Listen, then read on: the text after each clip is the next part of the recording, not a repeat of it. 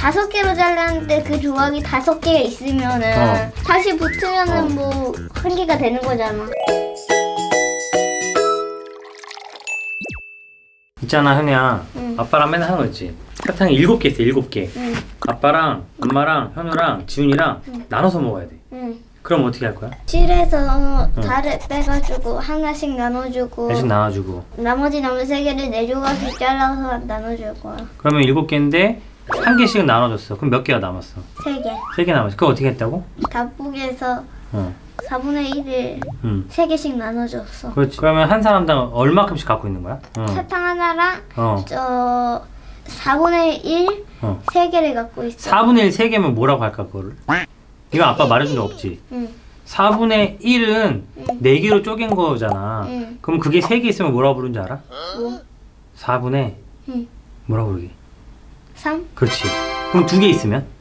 4분의 4개 있으면? 1. 4분의 4. 4개로 쪼갠 거를 4개 갖고 있으면 몇 개랑 똑같은 거야? 하나. 그렇지 그럼 4분의 4는 뭐랑 똑같은 거야? 하나. 1이랑 똑같은 거지 알겠지? 이건 아빠랑 오늘 처음 했잖아 응. 그러면은 하나 더 해보자 사탕이 9개 있는데 응. 이거를 다섯 명이 나눠 가질 거야 이번에는 다섯 명. 다섯 명 여기 다섯 명이잖아 지금 응. 현우 아빠 피디님 피디님 매니저 선생님 그러면은 아홉 개야 사탕이 근데 다섯 명이서 나눠 가질 거야 그럼 응. 어떻게 해야 돼? 아홉 개에서 살을 빼가지고 응. 그, 그건 잠깐 옆에 놔두고 다섯 개를 하나씩 나눠준 다음 응. 네개 남은 거 응.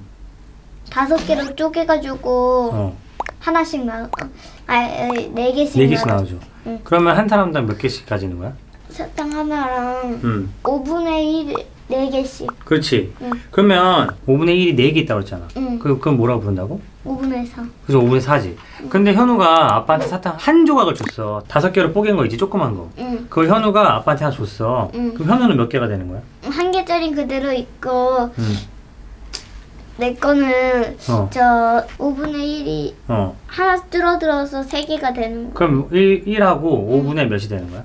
3개가 됐으니까 5분의 3 아빠는 원래 한 개 하고 5분의 4가 있었는데 응. 현우가 하나 더 줬잖아 조그만 쪼갠 거를 그럼 아빠는 몇 개가 됐어? 두 개. 그럼 그치 왜 두 개야? 5분의 5는 다섯 개로 잘랐는데 그 조각이 다섯 개가 있으면은 어. 다시 붙으면은 어. 뭐한 개가 되는 거잖아. 그러니까 아빠는 응. 두 개가 되고 응. 현우는 하나 하고 응. 그럼 현우 몇 5분의 개? 3. 5분의 3이 된 거지 응. 그치 그럼 현우가 아빠한테 얼마를 준 거야?